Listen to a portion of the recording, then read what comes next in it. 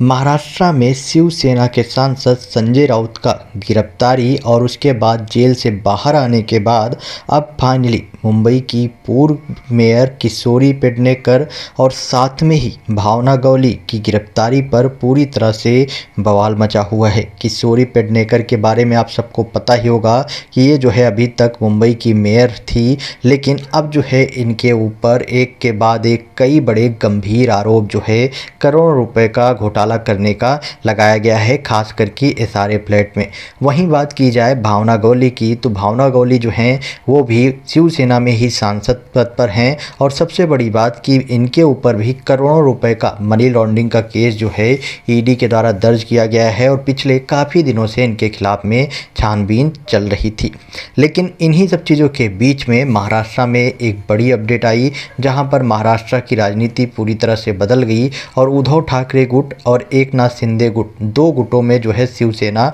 But गई, जिसके बाद लगातार उद्धव ठाकरे और शिवसेना गुट एक नाथ शिंदे गुट एक दूसरे से भिड़े हुए हैं। लेकिन अब इन सब चीज़ों के बीच में दो ऐसी महिलाएँ हैं जो कि शिवसेना की हैं। एक तो किशोरी पेडनेकर, दूसरी जो है भावना गौली। दो के दोनों लोगों के खिलाफ में कई बड़े गंभीर आरोप लगे हैं और दो के दोनों के खिलाफ में जाँच जो है चल रही है।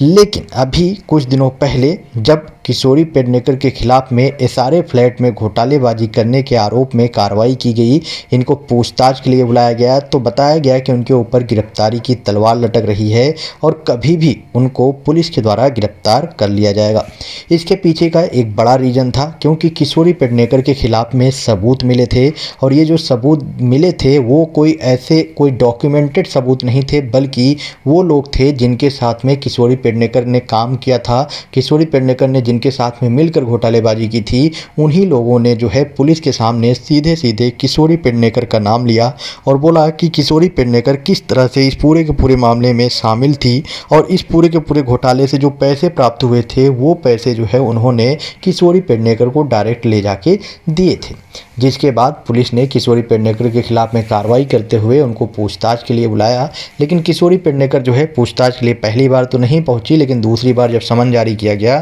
तो मजबूरन वश किशोरी पेडनेकर को पुलिस के सामने जाना पड़ा और अपना स्टेटमेंट जो है वहाँ पर दर्ज कराना पड़ा।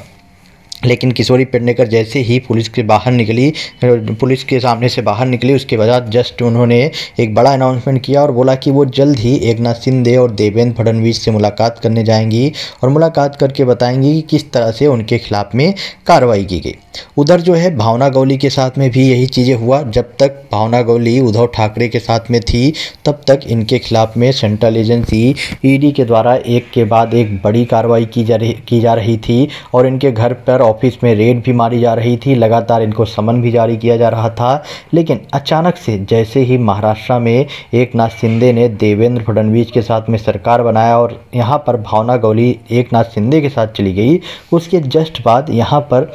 इनके खिलाफ में भी कोई कार्रवाई होनी बंद हो गई। यहाँ तक कि ये भी सवाल उठने लगे कि आखिरकार अभी तक ये जब तक उद्धव ठाकरे के साथ थी, तब तक सेंट्रल एजेंसी के द्वारा डेली रेड मारा जा रहा था, लेकिन अब अचानक से सेंट्रल एजेंसी को क्या हो गया? इस बात को लगातार सवाल उठाए जा रहे थे, लेकिन अब जब दो के दोनों लोगों का मामला जो है पब्लिक के सामने आया, यानी कि किशोरी पेडनेकर और भावना गौली। दो के दोनों लोगों का मामला जो पब्लिक के सामने आया तो यहाँ पर पब्लिक ने सवाल उठाने स्टार्ट कर दिए।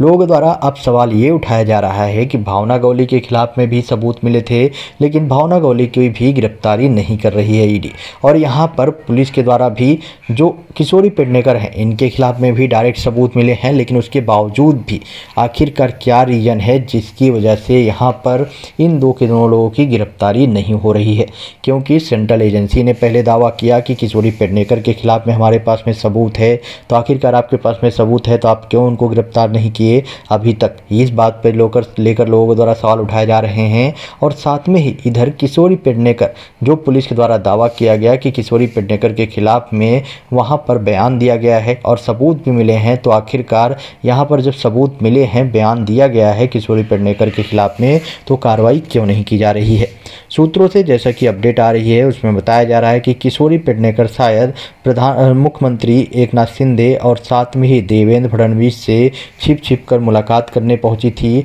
और उनका जो है कहीं ना कहीं इस मुलाकात के बाद जो कार्रवाई जो होने वाली थी, वो धीरे धीरे रुक गई है। मतलब कि जो तेज़ी से कार्रवाई होती और हो सकता है कि गिरफ़्तार किया जा सकता है, उस पर रोक लगा दी गई है। ऐसा जो है पब्लिक का मानना है और पब्लिक जो है सोशल मीडिया पर, खास करके ट्विटर पर, लगातार इस तरह के कमेंट कर रहे हैं। उनके द्वारा लगातार सवाल उठाए जा रहे हैं कि अगर किशोरी पेडनेकर के खिलाफ में सबूत मिले हैं तो आखिरकार कुछ टाइम पहले ईडी कुछ टाइम पहले पुलिस के द्वारा ये अपडेट दी गई कि उसको जल्द ही हम गिरफ़्तार करेंगे, लेकिन अभी तक आखिरकार गिरफ्तारी क्यों नहीं हुई? सेंट्रल एजेंसी ईडी के द्वारा भी बोला गया कि जल्दी भावना गौली को समन जारी किया गया है, अगर वो नहीं पहुँचती हैं तो उनको भी गिरफ़्तार नहीं किया जाएगा। बाय द वे भावना गोली आज तक ईडी के सामने अपना स्टेटमेंट दर्ज कराने नहीं पहुँची। उनको कई बार समन जारी किया गया, लेकिन भावना गौली जो है ईडी के सामने नहीं पहुँची। और आज तक इतना टाइम हो गया साल, एक साल से ज़्यादा टाइम हो गया भावना गौली के खिलाफ में ईडी के द्वारा इन्वेस्टिगेशन किया जा रहा है।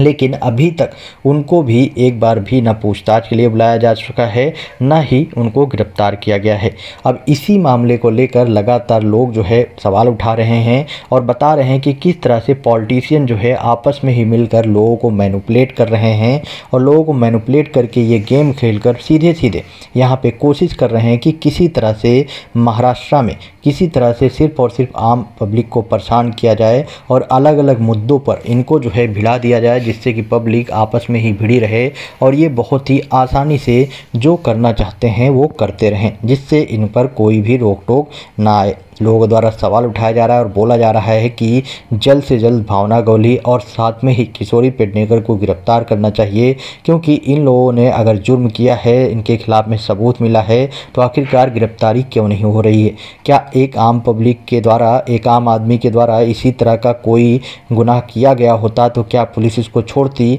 क्या उसको इतना इतना टाइम तक टाइम दिया जाता, जिस हिसाब से किशोरी पेडनेकर और भावना गौली को दिया गया है? क्या कोई आम आदमी इस तरह से सेंट्रल एजेंसी ईडी के द्वारा बुलाए जाने पे नहीं पहुँचता ईडी के ऑफ़िस में तो क्या उसके खिलाफ में ईडी ऐसे ही शांतिपूर्वक बैठती रहती, उसके खिलाफ में कोई कार्रवाई नहीं करती। इन सब बातों को लेकर लगातार लोगों द्वारा सवाल उठाए जा रहे हैं और यहाँ पे सबसे बड़ी बात कि ऐसा नहीं है कि किसी एक पार्टी के खिलाफ में लोग बोल रहे हैं, बल्कि सारे के सारे पार्टियों के खिलाफ में, चाहे वो बीजेपी हो एक नाथ शिंदे हों या उद्धव ठाकरे हों एनसीपी हो या कांग्रेस हो, सभी के खिलाफ में लोगों द्वारा कमेंट किए जा रहे हैं और बोले जा रहे हैं कि किस तरह से ये लोग जो है हमें आम पब्लिक को जो है मैनुपलेट करते हैं। पूरी तरह से गेम खेलने की कोशिश की जा रही है। जब यहाँ पर उनकी गिरफ्तारी को लेकर दावे किए गए थे तो गिरफ्तारी क्यों नहीं हो रही है? बाय द वे अभी भी इन्वेस्टिगेशन जारी है और लगातार किशोरी पेडनेकर को लेकर भी इन्वेस्टिगेशन जारी है और भावना गौली को भी लेकर इन्वेस्टिगेशन जारी है। ये देखने वाली बात होगी कि आखिरकार इन दो के दोनों लोगों की गिरफ्तारी कब होती है।